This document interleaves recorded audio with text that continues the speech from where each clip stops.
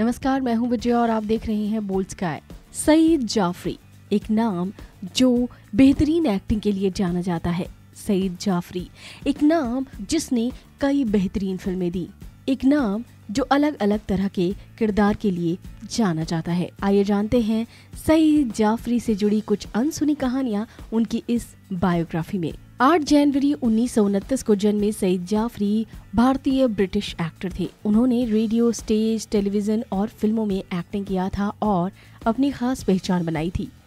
सईद जाफरी कई भाषाएँ बोल सकते थे। उन्होंने कई ब्रिटिश, अमेरिकी और भारतीय फ़िल्मों में एक्टिंग की थी। उन्हें 80 और 90 के दशक में ब्रिटेन में एशिया मूल के सबसे बेहतर अभिनेता के रूप में माना गया। साल उन्नीस सौ पंचानवे में सईद जाफरी को उनके ड्रामा के क्षेत्र में बेहतरीन प्रदर्शन के लिए honorary commander of the British empire के सम्मान से नवाजा गया। Honorary commander of a British empire सम्मान पाने वाले सईद जाफरी पहले एशियाई अभिनेता थे। सईद जाफरी ब्रिटिश राज में पंजाब के एक मुस्लिम परिवार में जन्मे थे। उनके पिता डॉक्टर हामिद हुसैन जाफरी थे। सईद जाफरी की शिक्षा Minto circle Aligarh Muslim university से हुई। सईद जाफरी की दूसरी पोस्ट ग्रेजुएशन डिग्री अमेरिका के कैथोलिक यूनिवर्सिटी से हुई। इसके लिए उन्हें पूरी स्कॉलरशिप भी मिली थी। सईद जाफरी ने अपने करियर की शुरुआत एक थिएटर कंपनी यूनिटी थिएटर की स्थापना के साथ की थी। ये कंपनी दिल्ली में स्थापित की गई थी। सईद जाफरी की पहली शादी अभिनेत्री और TV chef, anchor Madhur Jaffrey से हुई थी। उनके साथ सईद जाफरी का 1965 में तलाक हो गया। सईद जाफरी के पहली शादी से तीन बेटियाँ हैं। उनकी एक बेटी सकीना जाफरी, सईद जाफरी ने कई विदेशी एक्टर के साथ काम किया है। सईद जाफरी ने ऑल इंडिया रेडियो के रेडियो डायरेक्टर के रूप में भी काम किया है। सईद जाफरी अमेरिका में भारतीय सरकार के पर्यटन विभाग की पब्लिसिटी और एडवर्टाइजिंग डायरेक्टर के तौर पर उन्नीस से 1960 तक नियुक्त रहे। फराटेदार अंग्रेज़ी बोलने वाले सईद की हिंदी और उर्दू पर भी गजब की पकड़ थी।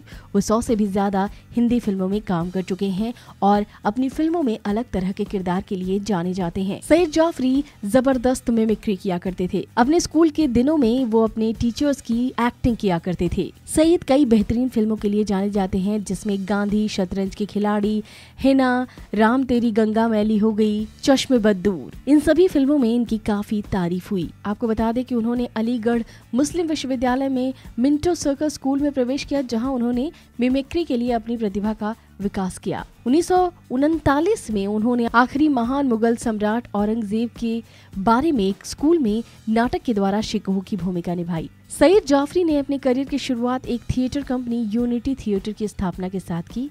सईद जाफरी अपनी एक से बढ़कर एक एक्टिंग के लिए जाने जाते थे। सईद जाफरी बेहद सक्सेसफुल एक्टर में शुमार हो चुके थे।